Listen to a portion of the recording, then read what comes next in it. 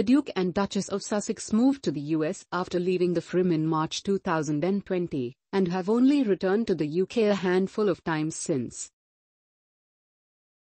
However, Prince Harry was less than happy with the family being stripped of their security after stepping down.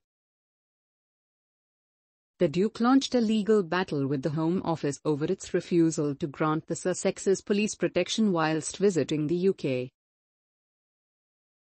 A former royal butler has urged the couple to take the high ground and not get involved with legal battles. Speaking on the popularity of the royal family on behalf of onlinecasino.ca, Grant Harold said he is confused over the rise in legal proceedings from the royals. In the past few years the Duke and Duchess of Sussex have also launched legal proceedings against several British news outlets, including the BBC and Associated Newspaper Limited which owns the Daily Mail, Mail Online and the Mail on Sunday. Mr. Harold said historically king and queens did not ever get involved in legal battles. The former butler said, The only thing that sometimes confuses me is you see historically kings and queens did not ever get involved in legal battles or suing but there's been a lot of that going on, obviously with Harry and Meghan, the Prince and Princess of Wales.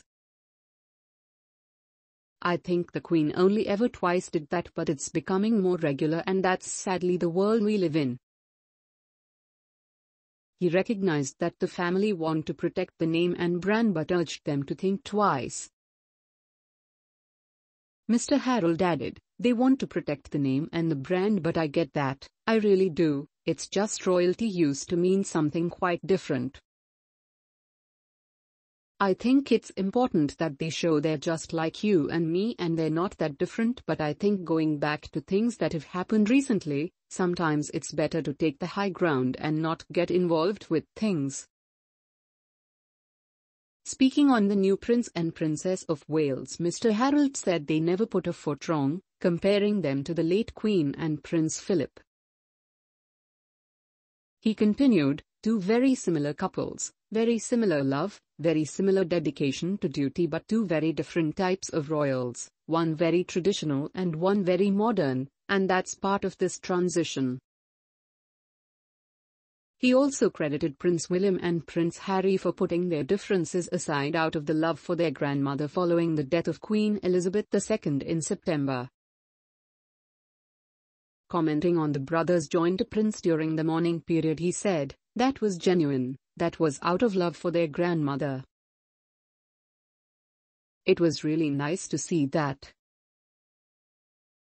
I was really glad to see them as one family again.